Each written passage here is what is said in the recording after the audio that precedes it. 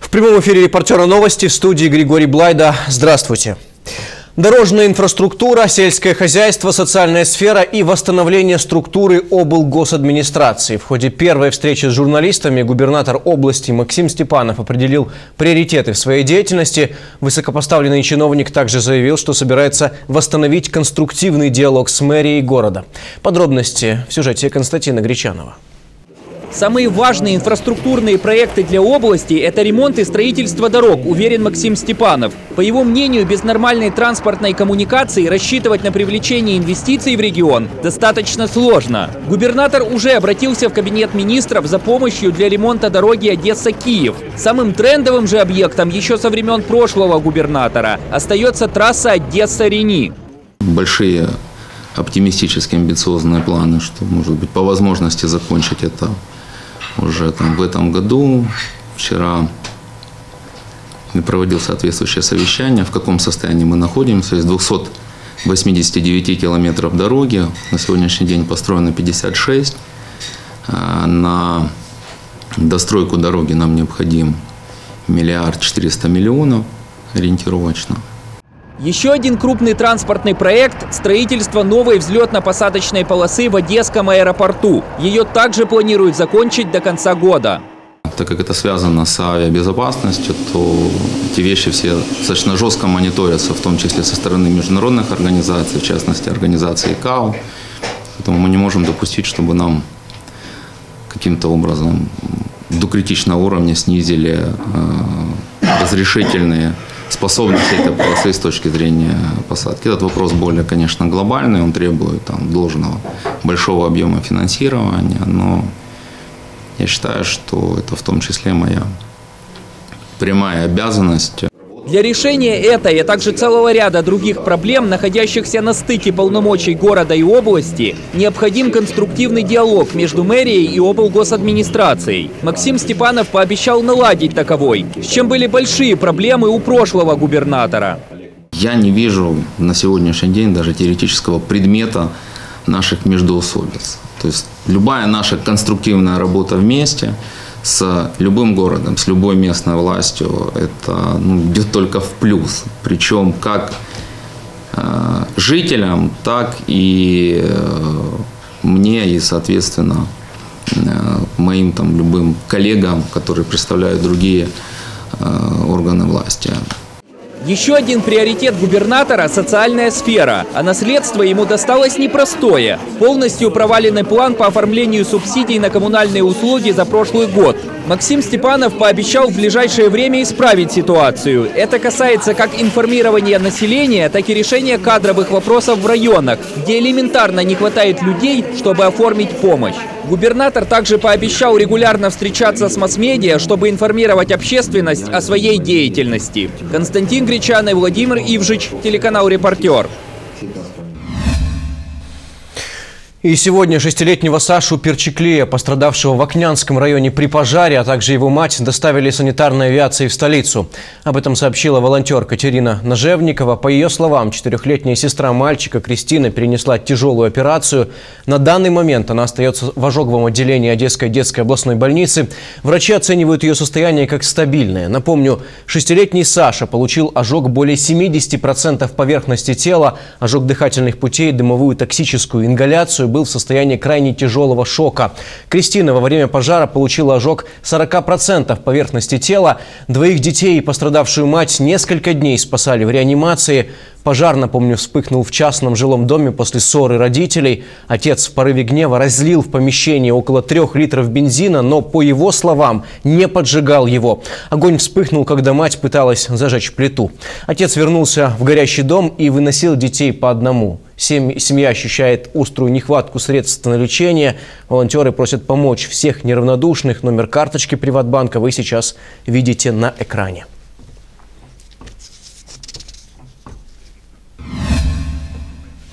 Но тем временем в Черноморске хотят ввести чрезвычайное положение. Таким образом, местные чиновники пытаются обратить внимание на проблему сползающих склонов и вывести ее на региональные и государственные уровни.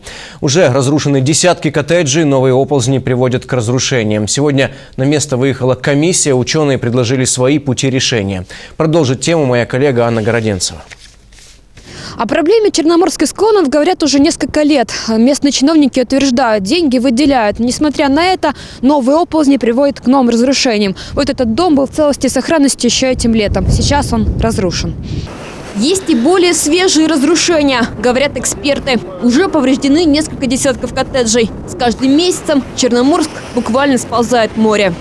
На последние пять лет, даже 4 года, а вы видите, что деформация э, и движение не только э, пошла в сторону моря, но и очень заметно до 12 метров, вот в точках, где находится сейчас зеленая зона, это было в нашем уровне. Вот в этом уровне было все. Значит, э, идет деформация вниз. Сегодня на место выехала комиссия. Экологи, инженеры, чиновники, спасатели. После очередного обсуждения проблемы в Черноморском горсовете говорят, проблему необходимо решать на государственном уровне. Эта ситуация носит не местный уровень, эта ситуация носит региональный уровень и обязана быть признана э, надзвычайной. В противном случае э, в городе э, могут быть те последствия, которые мы называем действительно надзвычайными, с жертвами и так далее. Все те превентивные заходы, которые дадут возможность остановить процессы, которые сегодня наблюдаются в районе 9 микрорайона и которые сегодня фактически охватывают порядка э, ну, более 30 гектар территории э, города Черноморска. Э, Одним из таких мероприятий, еще раз повторюсь, должно быть признание ситуации надзвычайной.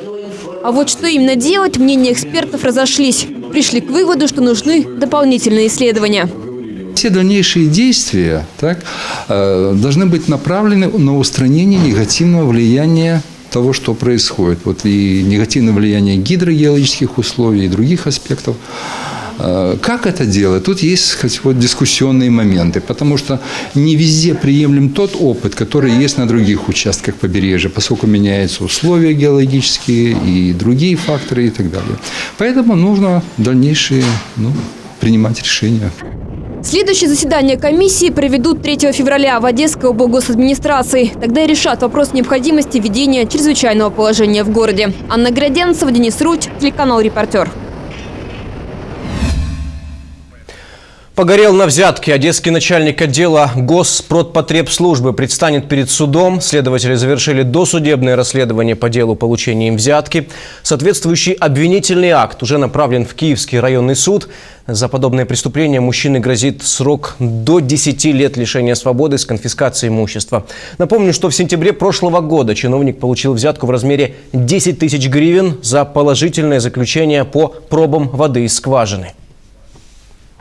У ході слідства з'ясовано, що вказаний посадовець у вересні 2016 року вимагав та одержав від представника підприємства 10 тисяч гривень хабара за отримання позитивного висновку щодо якості води у свердловині та подальше введення цієї свердловини в експлуатацію.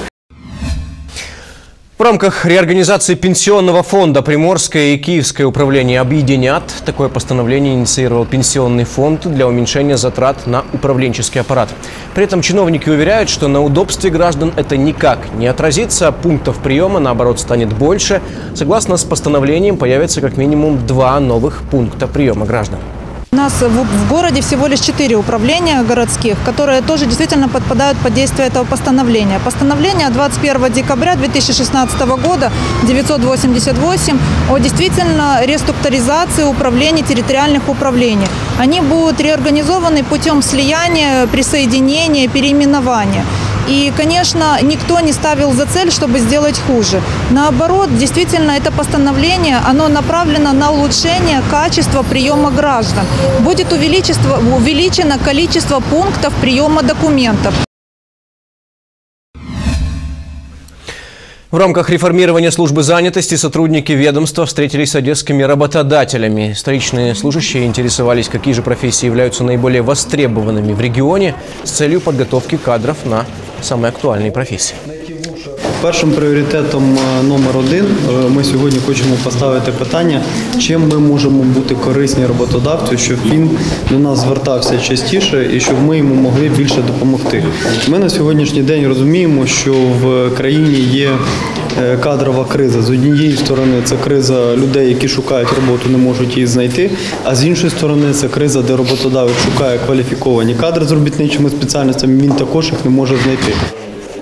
Согласно данным Центра занятости, большим спросом на сегодняшний день пользуются такие профессии, как слесарь и повар. А вот наименее востребованными оказались э, профессии, связанные с юриспруденцией и менеджментом. Основная проблема – это количество людей, которые приходят с высшим образованием и не могут найти себе работу. Если взять э, по стране, то таких людей больше 40%, которые стоят на учете в службе занятости. И мы на сегодняшний день предлагаем переобучение этих специалистов. Если у вас есть высшее образование и в течение полугода вы не нашли себе подходящую работу, мы предлагаем или освоить какую-то новую профессию, или дополнительно мы сегодня предлагаем курсы Прометеус, где вы можете увеличить свои какие-то дополнительные знания. Допустим, если вы юрист, вы можете себе выучить часть финансового или какого-то экономического сектора, чтобы вы были более эффективны на рынке труда. Мы э, занимаем третье место по уровню безработицы. Э, Он составляет на сегодняшний день 6,5%. Э, Лучшая ситуация только в городе Киеве 6,4% и в Харькове, по-моему, 6,1 или 6,2%. 19 января в Одесской филармонии выступит известный американский кларнетист Дэвид Кракауэр. Такой подарок для одесситов организовали при поддержке посольства США в Украине. Само мероприятие посвящено 25-летию дипломатических отношений между странами. Дэвид известен своими разнообразными жанрами, но в большей степени исполнением именно клейзмерской музыки. Отмечу, что кларнетист будет выступать не в одиночку, а с известными группами – одесситами Покас Трио и киевлянами Пушкин Клезмер Бенд. These are wonderful musicians. Це блискучі музиканти. All, every one of them. And um, Кожен з них.